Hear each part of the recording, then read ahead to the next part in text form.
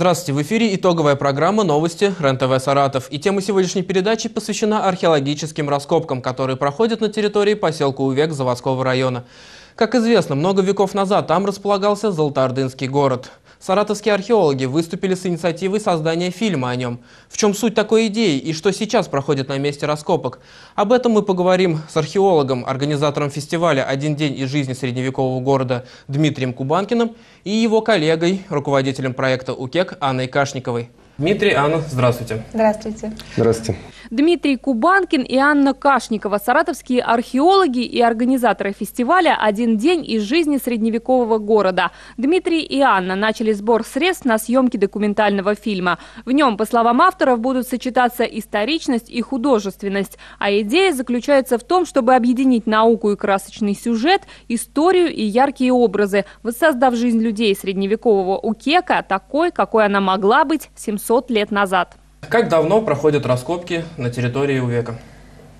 Ну, если вопрос э, к руководителю экспедиции, то это, наверное, ко мне. И э, с 2005 года археологическая экспедиция Саратовского областного музея краеведения ежегодно проводит исследования на Увекском городище.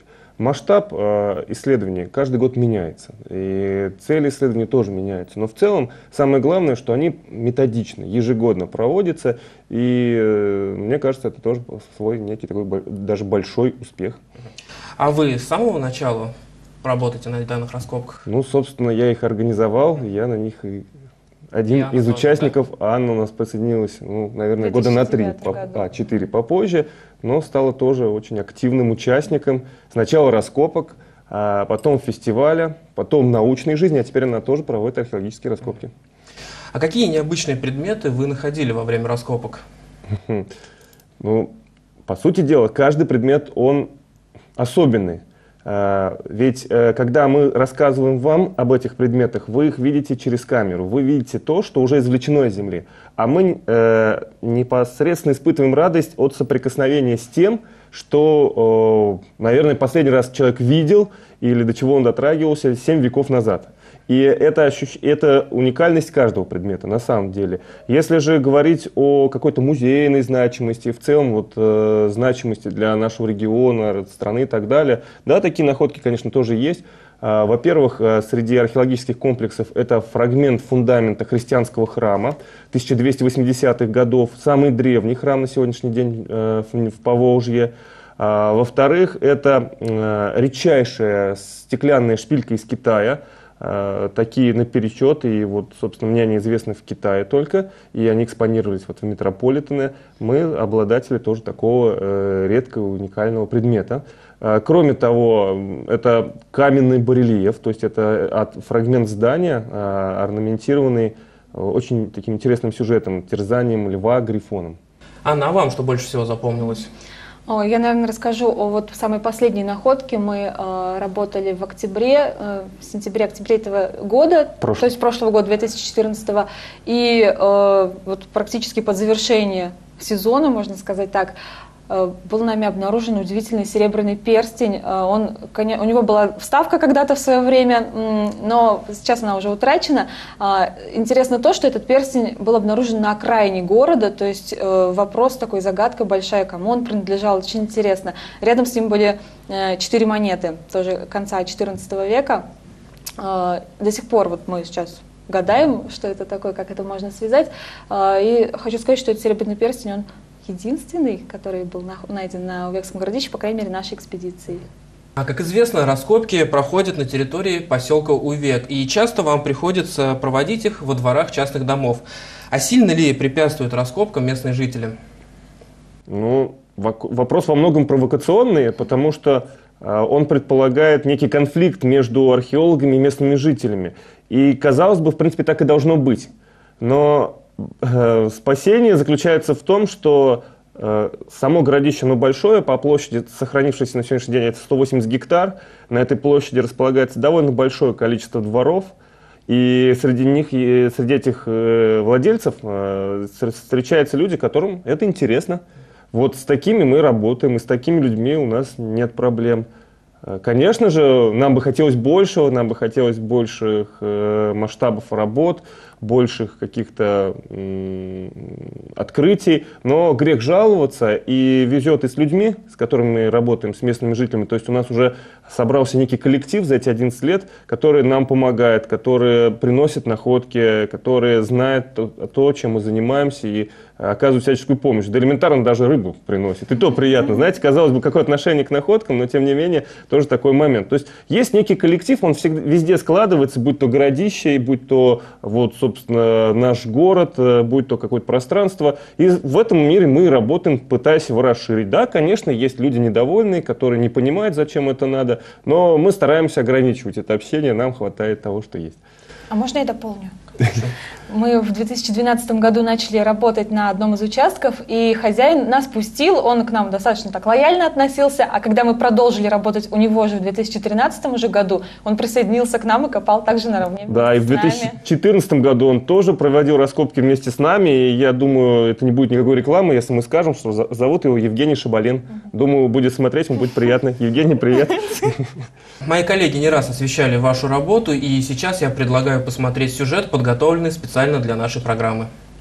Сейчас сюда водят экскурсии, но еще несколько лет назад мало кто мог предположить, что в 13 веке на этой окраине Саратова располагался средневековый город Укек. Страницы неизвестной истории археологи под руководством Дмитрия Кубанкина начали в буквальном смысле откапывать еще 11 лет назад. За это время им удалось обнаружить более 5000 удивительных находок. Вести работы, признаются ученые, сложно, ведь очень часто копать приходится прямо во дворах местных жителей. Археологические раскопки на Увекском городище имеют свою специфику и свою сложность, но они приносят э, замечательные результаты для тех, кто преодолевает эти сложности. Поэтому мы считаем себя счастливыми людьми, э, которые уже э, смогли обнаружить христианский квартал в Золотарнинском городе, найти два христианских храма, они оба самые древние на сегодняшний день в Нижнем Поволжье. Находки, которые удалось обнаружить, теперь стали музейными экспонатами. На одном стенде собраны предметы мусульманской, христианской и даже языческой культур. Но музейных экскурсий недостаточно для того, чтобы соприкоснуться с историей. Перенестись на 700 лет назад жители современного города могут на фестивале «Реконструкция», который каждый год проходит в поселке Увек на месте Золотоордынского города. Здесь можно погулять по средневековому базару и познакомиться с работой ремесленников. Все участники фестиваля проходят строгий отбор. Костюмы и прочие атрибуты обязательно должны соответствовать эпохе того времени. У нас реконструкторы, которые принимают участие, надо сказать, со всей России, со многих городов России, они проходят строгую проверку на так называемую достоверность костюма, а, предоставляя паспорт реконструктора. А, их одежда должна соответствовать археологическим находкам, археологическим материалам, источникам. То есть мы максимально стараемся приближаться к достоверности, к истории. Теперь археологи поставили перед собой еще одну задачу – снять фильм о средневековом городе Укек, в котором они планируют подробно воссоздать жизнь людей средневекового города, такой, какой она могла быть 700 лет назад. А как вам пришла идея снять документальный фильм об Укеке и что конкретно в нем будет? Ну, в общем-то, эта тема родилась э, одновременно у нас двоих, а, поскольку, ну, в общем-то, очень интересный проект – и на наш взгляд, и не только наш. И хотелось бы, чтобы как можно больше людей узнали об этом проекте. Первый опыт у нас был в 2012 году при поддержке администрации города Саратова. Мы сняли первый фильм – а вот уже в дальнейшем нам стало понятно то, чего в этом фильме не хватало, точнее было меньше. В нем было больше информации, и так обычно снимают, это тоже замечательно, но в нем было больше информации, скажем такой, научной и к предметам. Не было картины города. По-хорошему ее нет и сейчас. Мы не можем реконструировать город таким, как он был, но мы можем реконструировать быт этого города. Мы можем показать людей, которые в нем жили. Это происходит раз в году на фестивале «Один день из жизни средневекового города». Вот мы хотим все это заснять и сделать красочный фильм. Э, ну, вот спрашиваю уже сколько? Наверное, не больше 30 минут, а может быть даже чуть меньше. Тут уже как это все вот в сюжет войдет, как это органично ляжет. И сделать этот красочный фильм о городе, но через людей, которые могли в нем жить. И на основе каких-то исторических фактов и сюжетов, которые нам известны о городе, о Кеке и о Золотой Орде в целом. А, известно, что вы уже организовали систему сбора финансовой помощи для этого фильма. А на что именно пойдут собранные средства? А, собранные средства пойдут в первую очередь на оплату работы вот операторов, режиссера этого фильма. Кроме этого, обязательно, а, ну вот сам проект вот этот вот э, краудфандинговый. Сложное слово, если дословно переводить, это народное финансирование. То есть люди не просто э, скидываются деньгами, это не благотворительность, нет. У нас для каждого э, будут свои подарки э, за каждый взнос, и часть этих денег, опять же, идет на изготовление этих подарков. И, конечно же, там э, снимаются налоги, то есть мы делаем все абсолютно законно. И вот набралась именно такая сумма, она не из головы взята, мы долго рассчитывали, и вот пришли к тому, что нам нужно собрать именно это. Сколько? Дмитрий, вот вы упоминали про фестиваль исторической реконструкции. А можете рассказать о нем поподробнее? Да, конечно. Он появился тоже неспроста. А, те работы, которые мы проводили на Увекском городище, если смотреть э, и сравнивать их с масштабами работ на других археологических памятников, они по площади незначительны. Но материал, который мы получаем в результате исследований, он очень интересен, а иногда и уникален. О нем знают в научном сообществе, но о нем не знают жители нашего города. Мы проводим э, выставки и так далее, то есть какую-то свою работу в рамках музея краеведения, являясь его сотрудниками, ведем, но э, этого недостаточно, мы не охватываем всю эту территорию. Какой выход? Как рассказать об этом всем? И у нас родилась такая идея, и в это время в Саратове появился реконструктор Николай Фаньков, ставший в дальнейшем эмиром города Укека. И вот мы вместе сели и э, думали, как же УКЕК оживить. И ведь для этого нужны какие-то средства, силы и так далее. И вот самый простой, на наш взгляд, вариант и самый интересный, возможно, на наш, мы так считаем, это фестиваль. Фестиваль исторической реконструкции. Но, уверяю вас, если вы сейчас посмотрите, то практически в каждом городе какой-то фестиваль проводится. Что-то, какое-то вот это действие. То есть эта э, реконструкция сейчас очень популярна. Так что же особенного можем дать мы?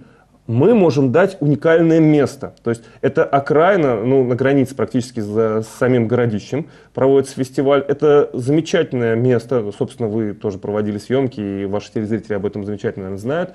А, это как заявили сами реконструкторы, место, где можно укрыться от современности и погрузиться в прошлое, даже не, при, э, не строя какие-то сооружения средневековья.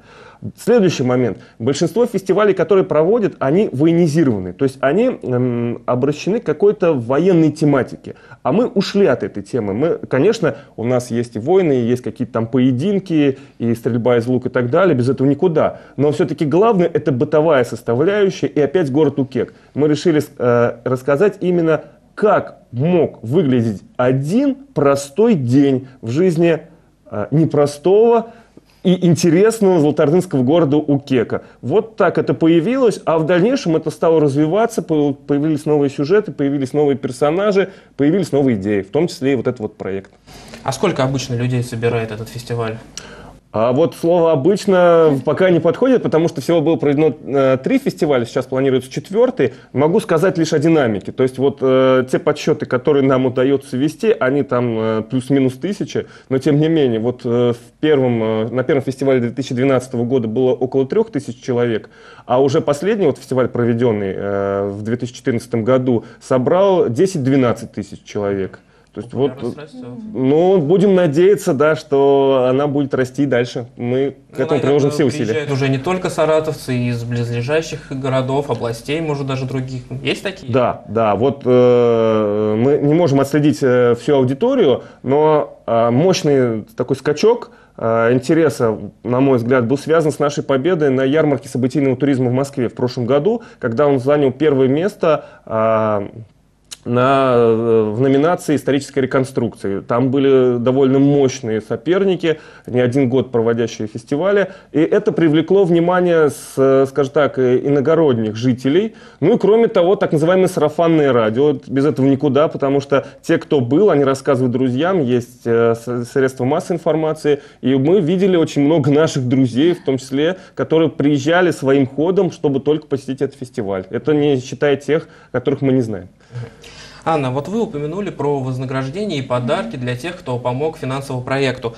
А что это за подарки, как их получить и поподробнее расскажите, да, пожалуйста. хорошо. Вообще проект находится на площадке на онлайн-сайте Boomstarter. Он называется. Это э, сайт, где выкладывают люди свои проекты, собирают средства. Там абсолютно разные проекты, и наш проект там в том числе. Называется он «Город Укек», э, фильм, основанный на реальной истории.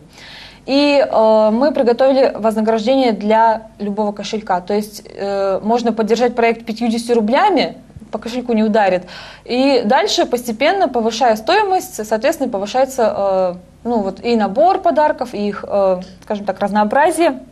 А, что у нас из подарков? Во-первых, это магниты с э, изображениями археологических находок Сувекского городища.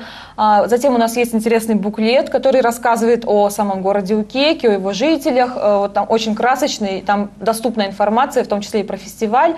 А, календарь – это наша фишечка, можно так сказать. Мы его уже третий раз выпускаем, третий год.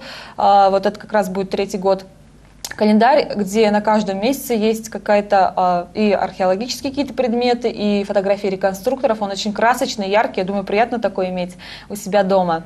Кроме этого, футболки, которые вы на нас сейчас видите, с эмблемой фестиваля, а, на нем написано «Кек 2015».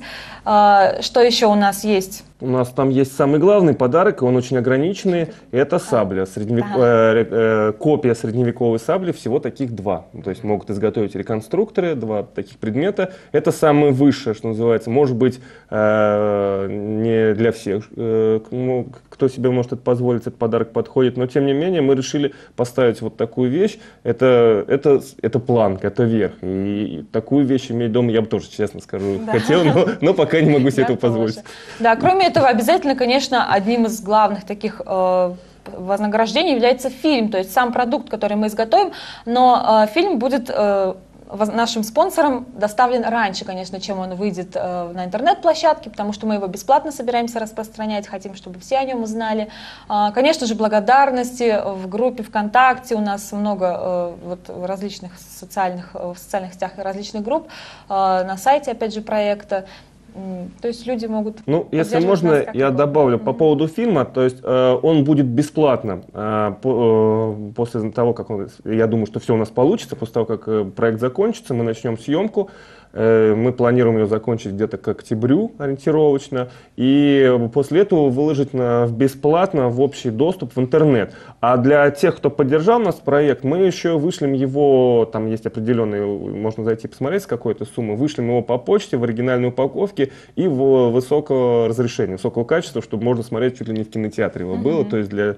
И еще там, собственно, мы пускаем в титрах от определенной суммы уже тех, кто нас поддержал, как э, спонсоров фильма тоже в том числе.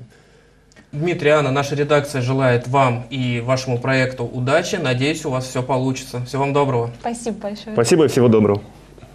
А я напоминаю, у нас в гостях были саратовские археологи и авторы проекта документального фильма об Укеке Анна Кашникова и Дмитрий Кубанкин. Всего вам доброго. Thank you.